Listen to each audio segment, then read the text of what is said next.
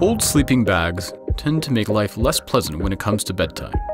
Instead of letting them go to waste, let Salewa breathe new life into your old sleeping bags. Bring them to a Salewa store and we'll send them to a local factory where they'll be disassembled, washed, dried, silverized, and restuffed with new materials before being sewn back together. These bags will then travel back to the store where you can pick them up in the form of brand new, high performance Salewa sleeping bags. It's just our way of being sustainable and making the world a little cleaner. It's simple and it's green, so everyone can get a good night's sleep.